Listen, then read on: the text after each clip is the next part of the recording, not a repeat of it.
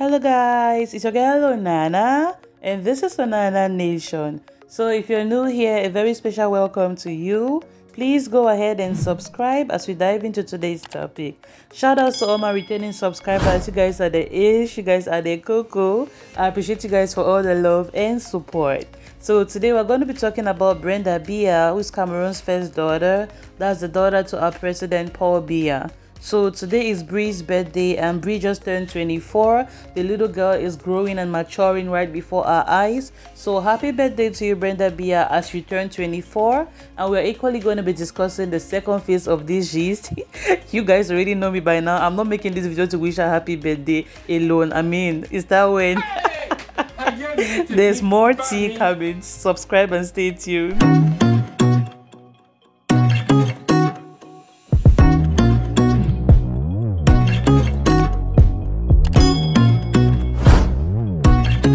Yes so welcome welcome lovely people. Welcome everybody. My dear people. Ah so our little Brie of yesterday or as she turns older as she turns 24 today she's already feeling older and wiser and better. So she feels like she has more wisdom and she's mentally prepared to start a family. So Brie took to her facebook page and wrote this message. J'aimerais déjà fonder ma famille avec mon petit mari. Le reste ne m'intéresse pas. So that message is in french and the translation is i would love to form my family with my little husband husband the rest doesn't affect me at all like nothing else matters to me right now. So brenda is really having all these maternal feelings and she's feeling like she's ready to start a family she's ready to be a mom. It didn't only end there oh, my people. She took to twitter and wrote the same message that it's time for me to become a mom. I feel like i need to become a mom very soon. And there's nothing my future baby would do to make me love her any less. So brenda is out here writing about all this. I want to be a mom from facebook to twitter and everywhere. So you can see the headspace in which she is she's mentally prepared to become a mom, which is very okay by the way. She's a woman above 24, she's independent, she's hardworking, she has her money, and she's doing well in life. I mean, she's an adult, she's not a baby anymore. If she's prepared to have a baby, hey, who are we to judge? She can go ahead and have a baby. The only thing is that Cameroonians are going to drag her for um, being the first daughter who is pregnant out of wedlock. She's not married. They'll be telling her, what kind of example are you showing our daughters? What kind of examples are you showing little girls in Cameroon? Blah, blah, blah, all that stuff. Yam done, yam not done. But I think it's okay. If she's mentally prepared to have a kid and she has the means, why not? She can go ahead and have a baby. So after dropping this bombshell on us that she's ready to become a mom, she went ahead to upload some pictures on Instagram and the pictures spread like wildfire. Her pictures have sparked a lot of controversy on the internet today. Huh? Brie, is this you?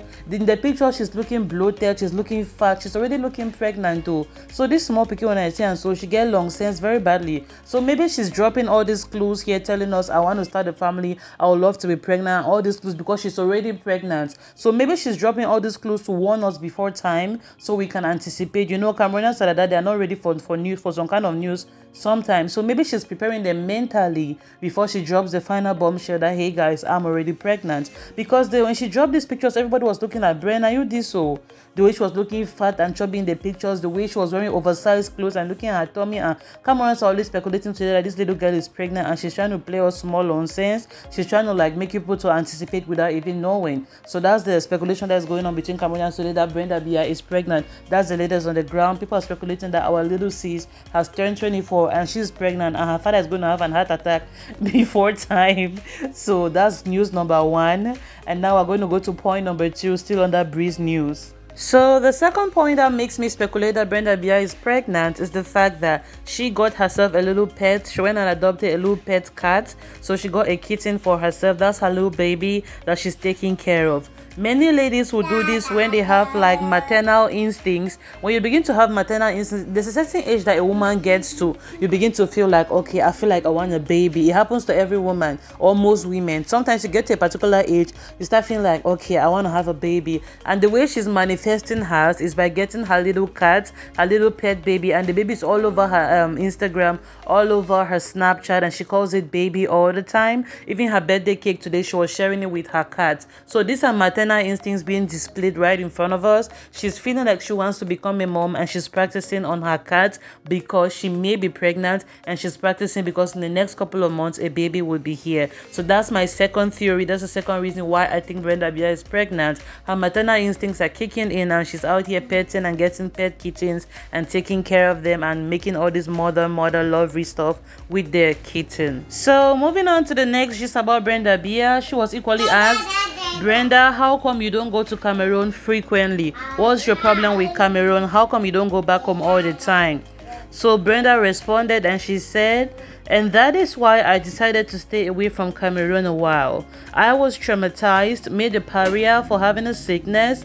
I love my country, that's Cameroon, don't get me wrong. But that is the main reason I can't get behind the mentality people have there. So the reason why Brenda Biya doesn't visit Cameroon as much as she would love to is because of the mentality, according to her, the mentality that Cameroonians have. They judge her, they insult her for her eyes. You guys know Brie has thyroid disease, that's her eyes are always fat It's because of the thyroid disease and lately she was trying to get medical treatment she was trying to get surgery to remove her thyroid so she's trying to go through that whole procedure of taking out her thyroid but for the mean for the meantime she's having this thyroid disease and cameroonians would never allow her to hear the last of it they keep laughing every day they keep insulting her and all that stuff so she says it makes her have anxiety and that's why she doesn't go to Cameroon as much as she would love to.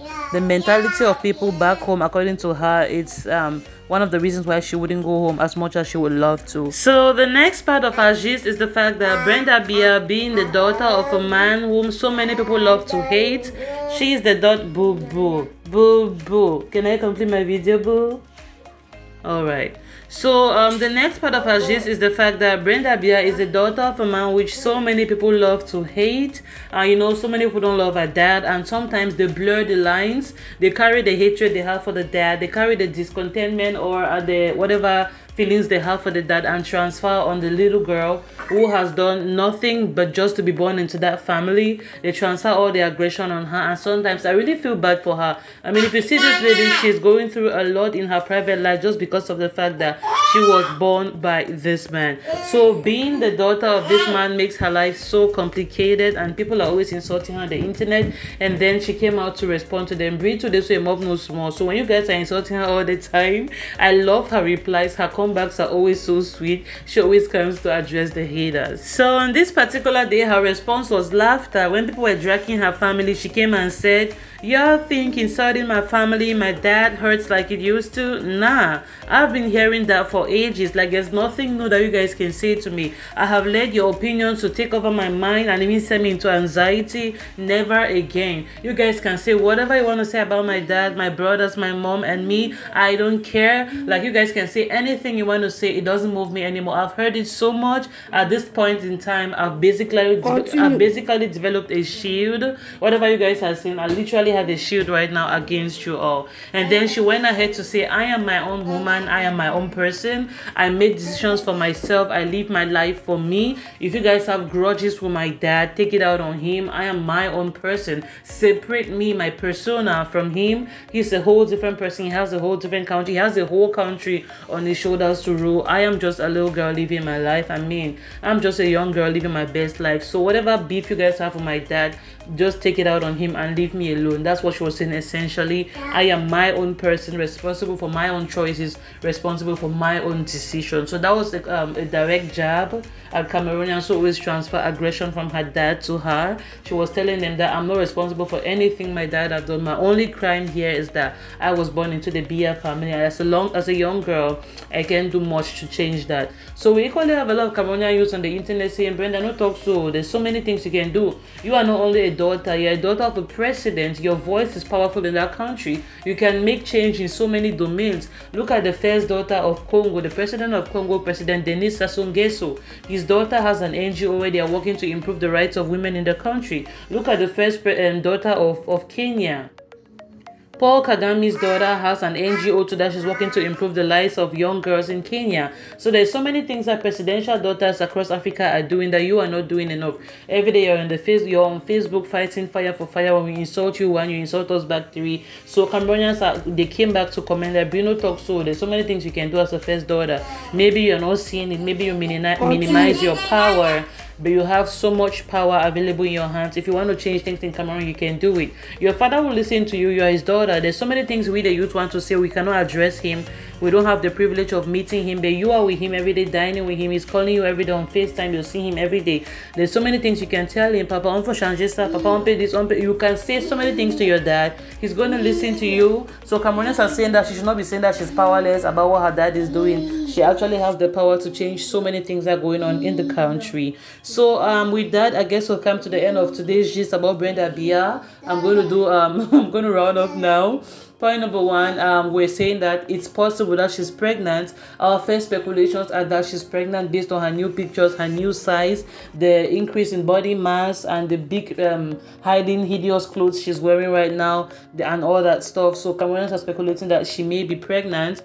Point number two, Brenda Biya addresses some a couple of haters out here who are out here calling her names. Point number three, Brenda Biya addresses the reason why she doesn't go to Cameroon as much as she would love to so um thank you guys so much for watching the video. On that note we'll come to the end of today's video. I remain your girl nana.